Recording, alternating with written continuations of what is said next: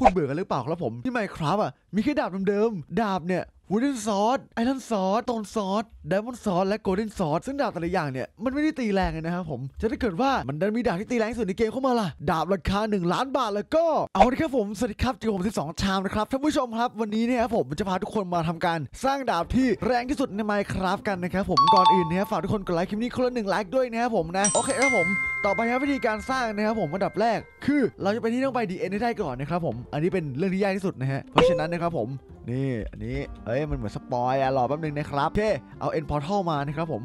End Portal นะฮะแล้วก็เป็นเจ้า i v e n d e r นะครับผมแล้วก็เป็น Red w o นะฮะเอามาอีกอันนึงนะครับผมนี่ฮะวิธีการไป DN นนะครับผมบางคนอาจจะงงว่า DN ทำไมไปไม่ได้นะครับว่าสร้างปกติไม่ได้นะครับผมผมจะสอนวิธีการไป DN แบบง่ายๆก่อนนะฮะ Red w o วางไว้อย่างนี้ใช่ไหมนี่แล้วก็เอา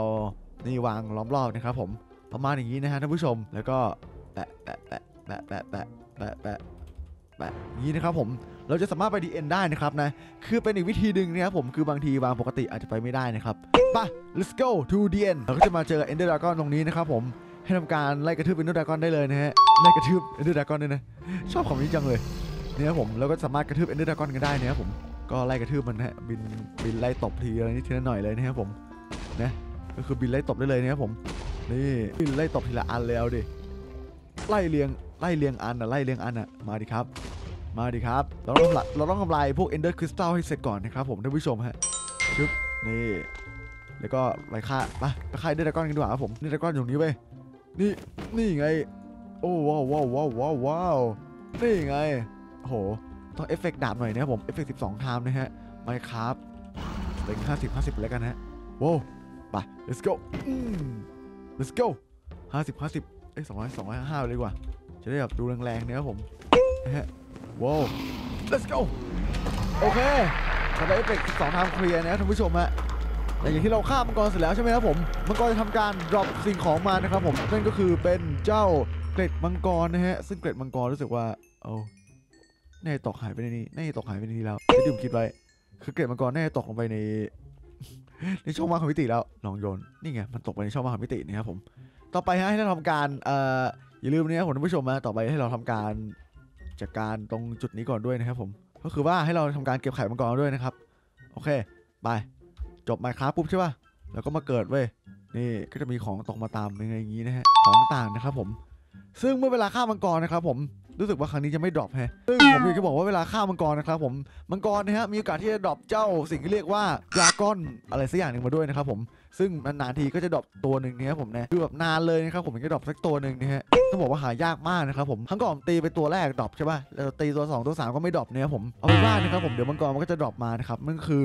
มันจะทำการ drop สิ่งที่เรียกว่า dragon แป๊บนึงนะ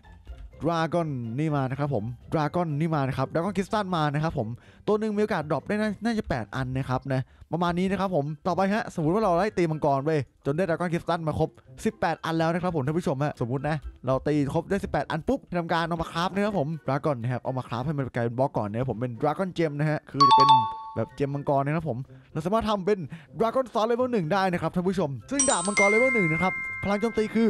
801 เลยนะฮะถือว่าแรงมากแรงมากแรงสุดในเกมแล้วมั้งตอนนี้ก็ความสามารถพิเศษของดาบมังกรเลเวลหนึ่งนะครับก็คือว่าสามารถตีได้นะครับผมแล้วก็กดคลิกขวานะครับจะเป็นการยิงยิงสายฟ้าออกมาครับเพื่อจัดการพวกนี้นะครับผมนะประมาณนี้นะฮะเป็นไงนี่คือพลังของดาบมังกรนะครับผมดาบมังกรเลเวลหนึ่งนะฮะสามารถยิงสายฟ้าออกมาได้นะครับผมนะคือสามารถยิงสายฟ้ายิงออกมาได้เลยนะครับผมยิงแบบยาวๆรัวๆเลยก็ได้นะฮะ เป็นไงเนี่ยคือแบบยิงได้โหดมากนะครับผมสำหรับดาบมังกรเลเวลหนึ่งนะฮะโอ้เป็นไงท่านผู้ชมอะเลือกี่นี่แค่เลเวลหนึ่งนะเว้ยมีถึง 10เลเวลเลยนะครับผม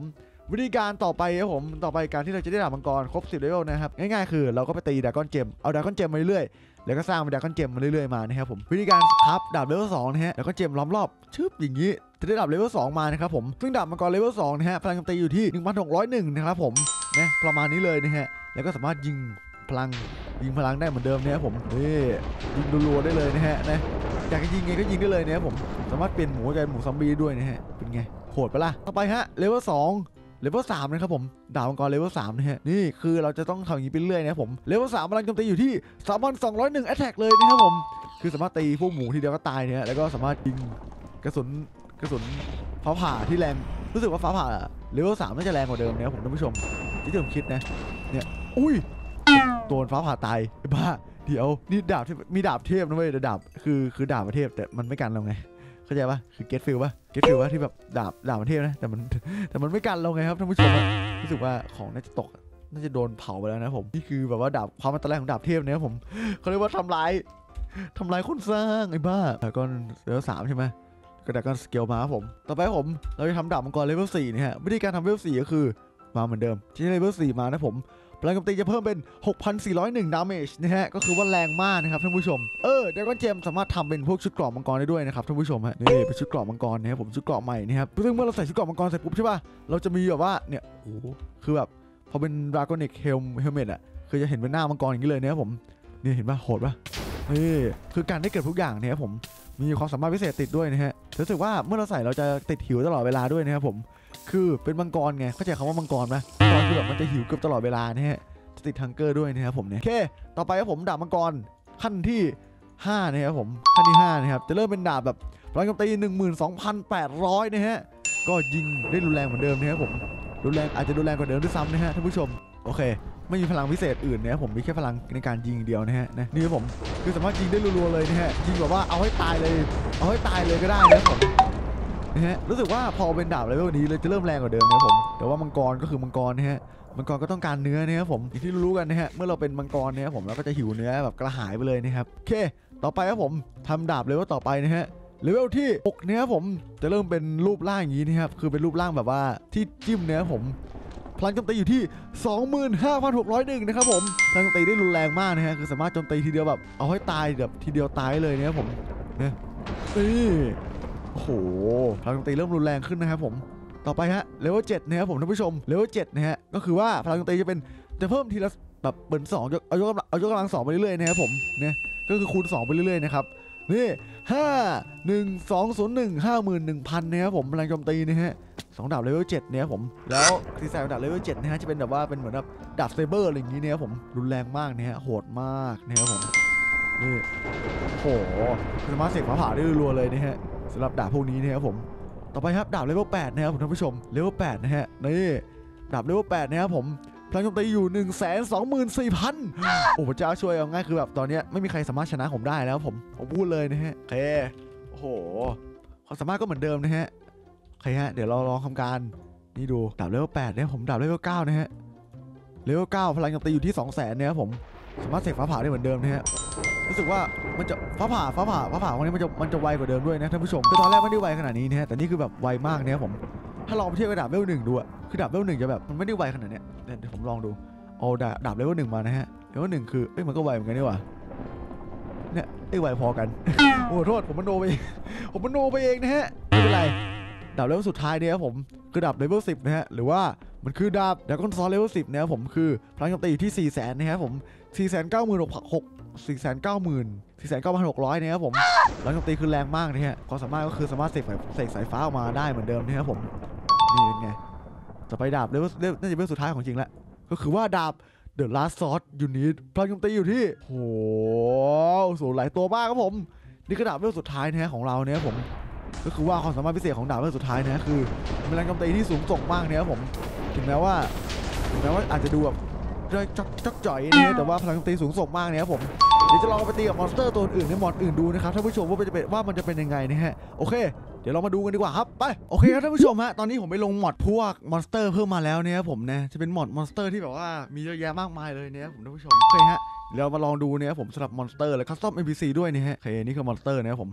เออนี่คือมอนสเตอร์ที่มันจะโผล่เข้ามาเนี่ยครับผมนะต้องบอกว่ากระจอกมากเนี่ยครับผมไอ้พวกเนี้ยผมบอกเลยว่าไอตอนที่เราเล่นนั่นน่ะจำได้ปะ GL คาร์บอะพวกนี้แม่งโหดมากนะเว้ยพอมาอยู่ใน mod นี้เหรอพวกกระจอกพวกลูกกระจอกพวกนี้เนี่ยนะมันจะโหดได้ยังไงนี่ครับผมเป็นไงโอ้โหเขาเรียกว่าถึงเวลาล้างแค้นล้างแค้นนะฮะมาถึงก็เรียกว่าถึงเวลาล้างแค้นเว้ยเอาแบบตัวโหดเลยนะฮะจากที่คิดเนี่ยผมตัวโหดนี่น่าจะเป็นแบบพวกนี้เนี่ยผมเนี่ยพวก dragon นะฮะโมล็อกเนี่ยพวกมังกรเนี่ยผมพวกไข่มังกรนะฮะ spawn beast ไม่เอาดินี่ spawn demon ด้วยนะครับผมนี่ฮะจากที่ดูเนี่ยผมพวกนี้ดูน่าจะโหดมากนะฮะเบเบเฮมอสเบเฮมอสนี่เบเฮมอสน่าจะถ้าจะไม่ผิดเป็นพวกราชาปีศาจอะไรอย่างงี้นะครับผมนี่คือมังกรนะฮะมังกรเหรอมังกรแล้วไงวะทำเหมือนว่าเก่งอะนี่โอ้โหอะไรเนี่ยโอ้ยแต่ชุดเกาะคือผมพูดตรงๆเลยชุดเกาะชุดเกาะไม่โหดนะฮะชุดเกาะนี่คือชื่อเป็นชุดเกาะกากๆนะครับผมนะ ก็เป็นเหมือนชุดเกราะเพชรปกติทั่วไปอะคือชุดเกราะไม่ได้ดีมากขนาดนั้นอะแต่คือดีแค่ดาบเว้ยแต่ชุดเกราะไม่ดีเก็ตปะชุดเกราะไม่ได้เก่ง คือผมบอกเลยว่าถ้าคนจะทำชุดเกราะไม่คุ้มนะฮะทำดาบคุ้มกว่าเว้ยชุดเกราะชุดเกราะไม่คุ้มเว้ยแต่ชุดเกราะเพชรคือแบบคุ้มกว่าเอออย่างนั้นนะมันมันไม่ค่อยคุ้มเว้ยมันแค่เพิ่มเอฟเฟกต์เข้ามาก็คือเป็นเอฟเฟกต์แบบ jump boost speed แล้วก็ resistance แค่เนี้ยนะเออมันก็ไม่ได้เพิ่มเอฟเฟกต์อะไรขนาดนั้นลองดูเบเฮมอสดูนะครับผมนี่เหรอจอมราชาปีศาจเนี่ยพอพอย่าย่า เจอราชาปีศาจอย่างนั้นเหรอ นี่ไง อุ้ยท่านผู้ชมอะรู้สึกว่าดาบนี่ไม่สามารถสู้ราชาปีศาจได้ โอ้โห เอาดีเอ้ยผมผมตีราชาพิศาจแค่ลดแค่นิดเดียวเองอะอะไรวะเนี่ย บ้าบอ บ้าบอไปแล้ว เอาดี นี่พวกตัวอะไรวะเนี่ย ลูกสมุนเหรอ my gosh ผมตีราชาพิศาจไม่เข้าเลยเว้ยท่านผู้ชม my god ตัวเนี้ยราชาพิศาจของจริง คือตีทีเดียวไม่ตายอะ เฮ้ย เอาดีท่านผู้ชมอะดาบนี้ไม่สามารถสู้ราชาพิศาจได้ครับผมนี่คือราชาพิศาจเนี่ยฮะ my god ผมรู้แล้วมันสู้อะไรไม่ได้ สู้ราชาพิศาจไม่ได้นี่เองโว้วโว้วว้วมันเลื่อนมันเพิ่มปะไม่รู้เลื่อนเพิ่มหรือเปล่านะฮะแต่ไม่น่าจะเพิ่ม เราเนี่ยตีลดน้อยมากตีรถอุ้ยกอดกินแอปเปิลทองก่อนเอาไฟฟ้าผ่าไปกินไปว้าวอะไรวะเนี่ยท่าเมื่อกี้ท่าอะไรอะแรงมาก ทีเดียวผมเกือบตายท่านผู้ชมโอ้ my god บอกเลยว่าเราไม่เราเนี่ยสู้ราชาพิศาจไม่ได้ครับผม เหมือนว่าการโจมตีที่เราโจมตีราชาพิศาใช่ปะคือตียังไงมันก็ลดมันก็ลดเท่าเดิมเว้ยแต่ผมด่าไม่ตีกระดาษไม่ตีอะคือไม่ต่างกันเลยครับผมท่านผู้ชม my god คือเอาง่ายคือ the last sword อะไม่สามารถสู้ราชาพิศาได้นะฮะราชาพิศาเขาโหดโหดจัดโหดจริงโหดจริงอะไรจริงครับผมเนี่ยแหมนี่แหละสมชื่อเลยชาพิศาของจริงนะฮะ Minecraft นะครับผมแล้วก็ Resistance นะฮะ255อย่างเงี้ยนั่งนั่งพอสู้ไหวอยู่เนี่ยครับผมโอเคโอ้โอ้ อะไรวะท่าอะไรเนี่ย สรุปคือเราเราสู้ราชาปีศาจไม่ได้ครับผมแม้จะมีดาบที่โหดที่สุดในเกมนะฮะก็สู้ราชาปีศาจไม่ได้เว้ยโอ้บ้าไปแล้ว เมื่อกี้คือแบบจำได้ว่าเอฟเฟกต์ resistance แล้วนะว้าวอืออืออือร้อยเอฟเฟกต์ strength ด้วยกันนะเออเอฟเฟกต์12ไทม์ไมครับ strength สองร้อยห้าห้าโอเค มันสู้ราชาปีศาจไม่ได้จริงด้วยแล้วราชาปีศาจนี่ก็แบบตียังไงมันก็ก็คือมันลดเท่าเดิมอะท่านผู้ชมแล้วเจ้าตัวนี้เนี่ยผมเนี่ยสมแล้วที่เป็นชื่อเลยราชาปีศาจโหดจัดโหดจริงยอมรับเลย แต่พวกพวกลูกกระจอกคือตีทีเดียวตายนะเว้ยแต่ตัวนี้ตีทีเดียวไม่ตายเนะฮะต้องตีหลายทีตีหลายทีอยู่ แล้วมีความสามารถพิเศษคือแบบว่าสามารถเปลี่ยนตัวเป็นไฟแล้วก็ระเบิดพวราชอาณาจักรไทยโอ้โหโหดไปไหนนี่นี่โหดไปไหน ผมนึกว่าดาบนี้ตีทุกอย่างทีเดียวตายหมดเลยเนี่ยแต่มันไม่ตายผมคุณผู้ชมสู้ไม่ได้แหมนึกว่าโหดนึกว่าดาบโหดแต่ก็โหดอยู่แหละแต่แค่สู้ตัวนี้ไม่ได้เฉยนี่มันโหดนี่โหดไปนี่ตัวนี้มันไม่ใช่คนไงเกมรูคีเวนทอรี่เป็นทูแล้วนะแล้วก็ลองเกมมาสูนดูโอ้ว้าวเอาดิโอ้ my gosh โอ้ my gosh โอ้ my gosh เขาโอ้โหเขาเข้าใกล้ไม่ได้ครับผมท่านผู้ชมนี่เราโอ้โห phase สาม phase สามเราเข้าใกล้ไม่ได้เลยเว้ยเข้าใกล้คือตายเข้าใกล้ปุ๊บคือตายอะตายทันทีอะ ตายแบบ auto death อะโอ้โห อะไรวะเนี่ยอือโอ้ auto death อะพูดเลยมันโดนคำสั่ง auto death นะครับผมเข้าใกล้ไม่ได้อะต้องยิงธนูใส่อย่างเดียว phase สามสำหรับ phase สามนะฮะโดน auto death โหดโหดจัดอะสมแล้วที่เป็นราชาปีศาจโหนี่ผมมาเล่นบอสเดียวคือรีวิวสองบอสเลยนะเห็นป่ะท่านผู้ชมอะสุดป่ะสุดจัดบอกเลย คนอย่างนี้ที่สุดจัดอ้าย โหดโหดโหดเกินโอ้โหมันจะโหดไปไหนเนี่ยโอ้โหโอ้ my gosh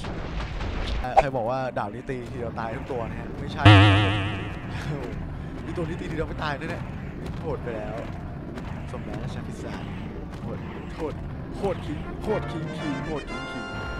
เพื่อฆ่าชาพิศาจได้เนี่ยครับผมเราก็จะได้อุปกรณ์ของราชาพิศาจมาเลยฮะนั่นคืออุปกรณ์เทพๆของราชาพิศาจเนี่ยครับผมวันนี้ก็ตายแล้วไปอุ้ยอุ้ยอุ้ย อุ้ย อุ้ย โอ้ my gosh วันนี้ก็ถึงเวลาตายนะฮะตีทีเดียวตายหมดนะพวกนี้ กระจอก